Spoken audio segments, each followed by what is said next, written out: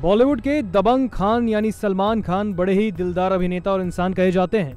लेकिन कभी कभी वो सरेआम ऐसी हरकतें कर जाते हैं जिसको लेकर उनकी आलोचना भी होनी शुरू हो जाती है। बीते कल सलमान खान के घर पर गणपति विसर्जन किया गया। इस दौरान सलमान खान नाचने के बाद जो करते नज़र आए वो आपको हैरान कर देगा। देखिए ये video.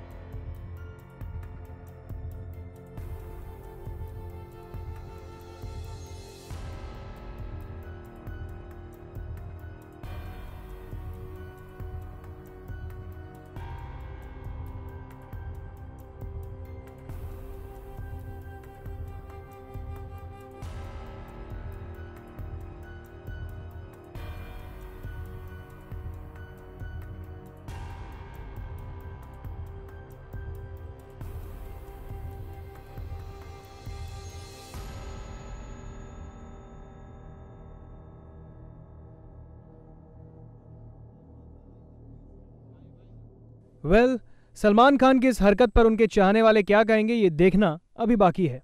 ESPN nine news room की रिपोर्ट।